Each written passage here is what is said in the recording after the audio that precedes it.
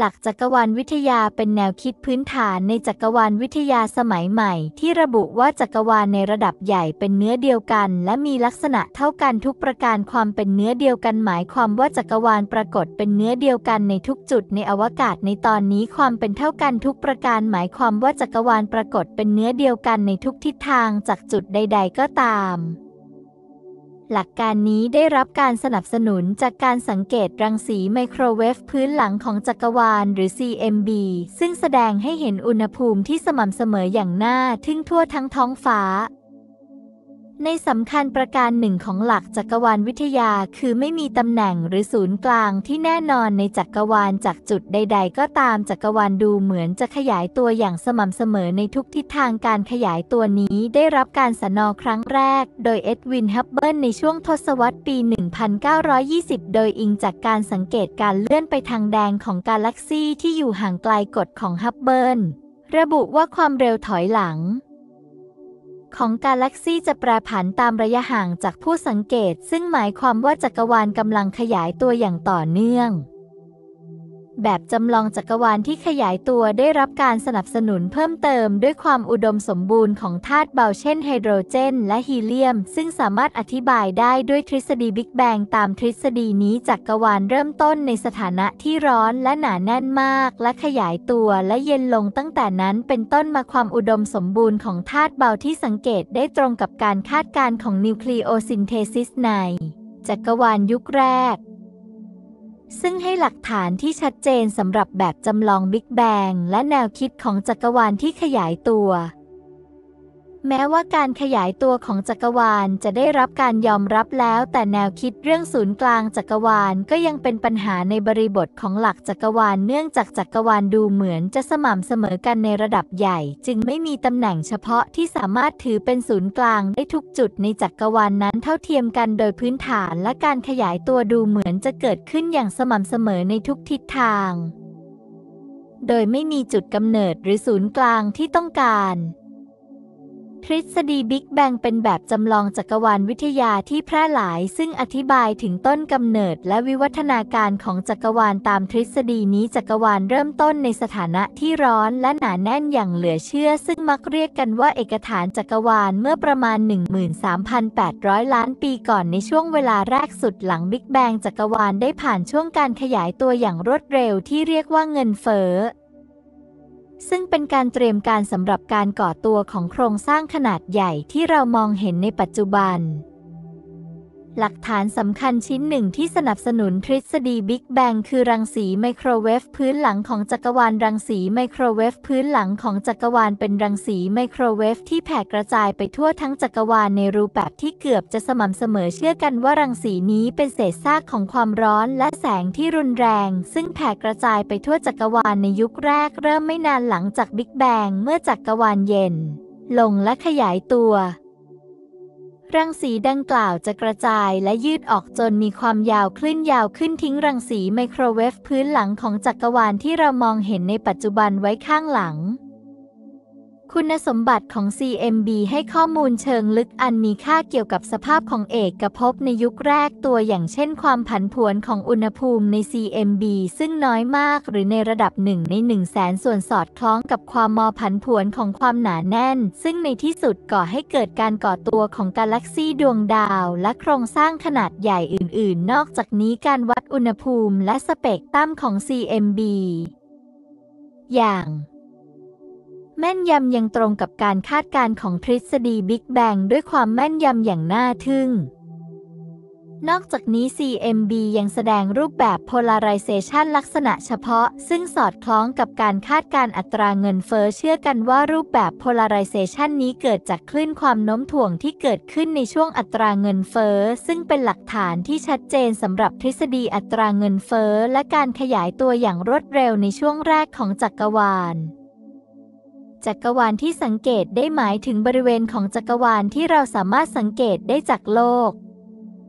โดยอาศัยความเร็วแสงที่จำกัดและอายุของจักรวาลที่จำกัด เนื่องจากแสงต้องใช้เวลาในการเดินทางข้ามระยะทางจักรวาลอันกว้างใหญ่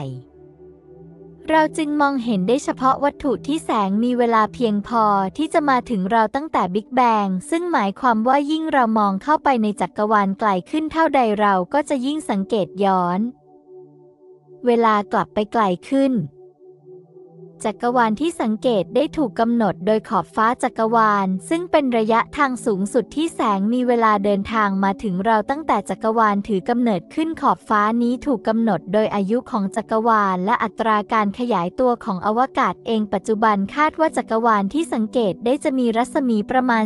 46,000 ล้านปีแสง ซึ่งหมายความว่าเราสามารถสังเกตวัตถุที่อยู่ห่าง ออกไปถึง 46,000 ล้านปีแสงในทุกทิศทาง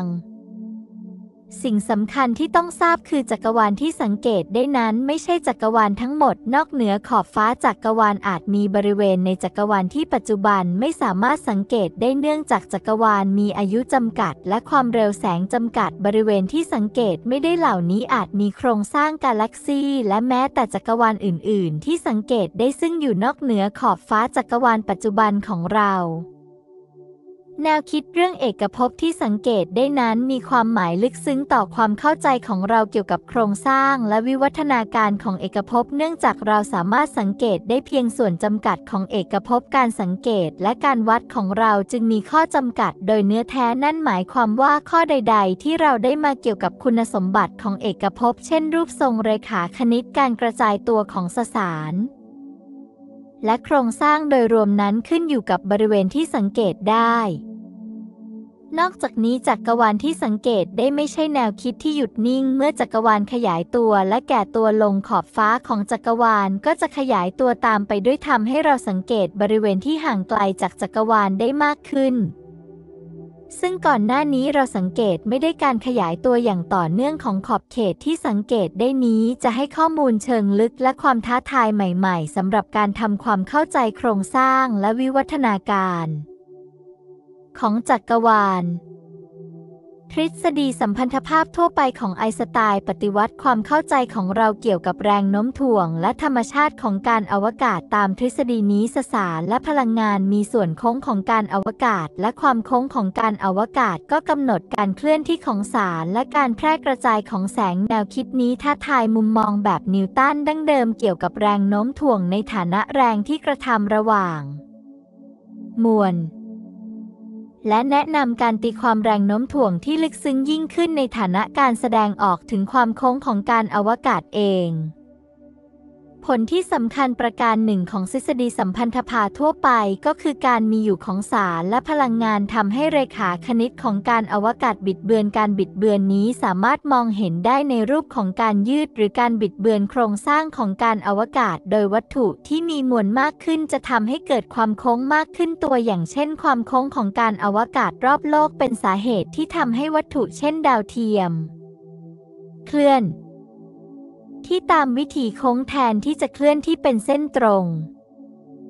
ความโค้งของการอวกาศมีความหมายสำคัญต่อความเข้าใจของเราเกี่ยวกับโครงสร้างของจักรวาล และแนวคิดเรื่องศูนย์กลาง ในการอวกาศโค้งแนวคิดเรื่องศูนย์กลางจักรวาลจะคลุมเครือและขึ้นอายุกับกรอบอ้างอิงของผู้สังเกต เช่นเดียวกับที่ไม่มีตำแหน่งพิเศษบนพื้นผิวของทรงกลมจักรวาลโค้งก็ไม่มีศูนย์กลางเฉพาะตัวเช่นกัน